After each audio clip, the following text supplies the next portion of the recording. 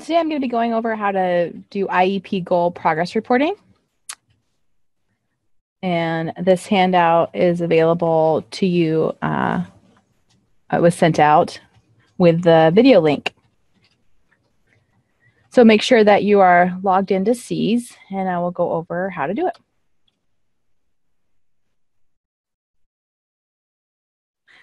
So, what is progress reporting? Um, progress reporting is the process by which uh, special ed teachers report to parents and families on their students' growth and progress toward the IEP goals. So, according to IDEA, you can read here, we um, are required to include a description of how the child has progressed toward meeting their goals, how that will be measured, when the reports will be made toward the IEP goals, and how that would be provided. And so uh, currently we have to do that um, as often as the report cards go out, which is different depending on what level you're at. So progress monitoring is essential to evaluating the appropriateness of a child's program, yet there is compliant, less compliance with this required component of the IEP than any other one.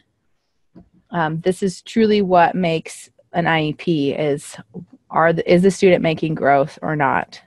Um, so some common concerns and legal findings you can read here.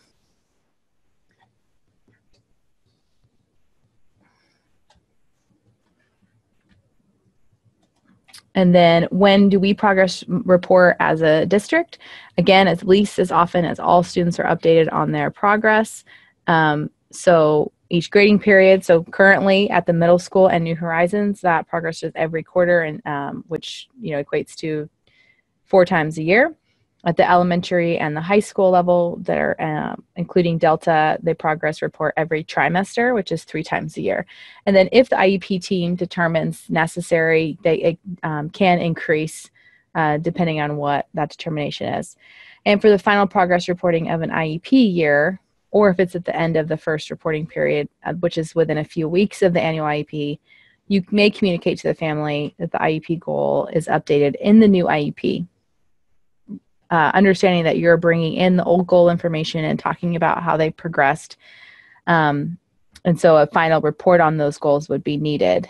Uh, best practice would be to include that decision on the IEP where progress reports start or on the prior written notice at the end of the meeting. So included on the progress reports would be data for all the goals. Um, we do not progress report on the objectives and data that is consistent with the goal. So if you used a percentage, then your progress data needs to be a percent. If you use trials, and it'd be trials, etc. And then the date the data was collected. Um, it doesn't necessarily mean that's the end of the quarter or trimester date, but it would be whatever date you actually collected the data, which should be by the end of that quarter or trimester. So if uh, you'll go to your uh, SEAS page with me. We'll go ahead and demo this. If you're on your launch pad, you click on IEP. And then you'll know here we have three uh, columns and draft packets, current progress, and locked packets. Locked packets houses the most recent I, uh, current locked IEP, the full packet. Current progress is just for the goal. So this is where you would go in and click on the goal that you want to progress report on. Um, and you'll notice that there is uh, that here, as opposed to in the annual packet, you can actually click and type a date and click and enter information. So this is where you would progress report uh, the next open available uh, uh blank space.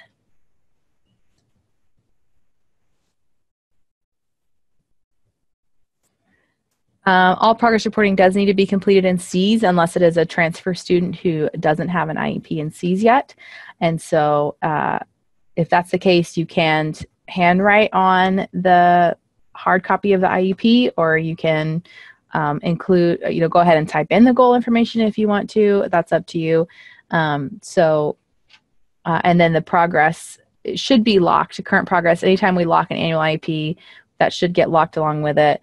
Um, if you do have a couple packets open there, let us know and we'll try to, to problem uh, to troubleshoot that. So this just goes through what we just did. So, who prints and sends the reports? The teacher of record is responsible for printing um, and giving or mailing the progress reports home to the families. Some buildings have set up an alternate system for doing this, so just check with your building teams, especially at elementary level. I know that they do a lot of stuff through conferences, so um, make sure you know what the process is so that you're not, um, so it's not inconsistent.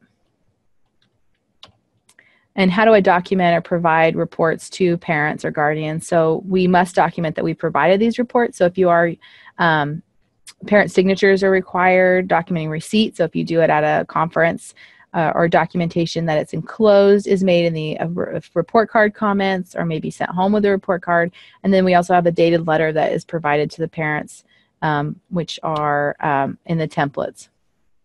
So a non-compliant activity would be that the progress report was completed by staff, copy was filed in their working file, and um, uh, the parents report that they didn't receive the progress report, therefore no documentation that they were provided a copy. So we want to make sure to be compliant that they have there's a copy in their working file, the documentation of the parent attending and receiving progress report will be filed in that building file or completed there's a progress report completed by staff and a copy is in their working file. Um, and then a note that the progress report is enclosed is made on the report card or progress report is completed again a copy in their working file and the dated letter so here's the letter that you can send home. It's in Spanish and English. You're required to give a copy to the families. If this is mailed home, if the progress report is mailed home, then you have to attach the letter. Um, if the parent is Spanish speaking, you need to send it in Spanish and English. And again, keep a copy for your records. A lot of people make a double sided copy of this and handwrite in all the information instead of typing, and that's okay as well. Um, that is up to you how you want to do that. And they use the double sided even if they're not Spanish speaking and just fill out the English side. So, what do you do if a student met all the goals in their area? If a student met all of their annual goals in a certain area, maybe math, and there were two goals and they met both of them, you do need to revise the goals. Um, or potentially, if the district, if the team believes they're no longer eligible, then steps must be taken to initiate a real evaluation. If the student shows regression or no progress, um, then the team needs to schedule a meeting so that those um, goals can be revised if that is a consistent uh, thing that happens. If you can't report on a student's goal, then um, and there's more than one goal in that area, then you you can continue. But if there's only one goal and you can't report on that goal, then you're essentially saying that they're that you're not meeting the student's needs and there's no reason for that IEP. So you need to know what SDI is being given and what goal is being measured. Um, so you'd have to complete an amendment if that happens.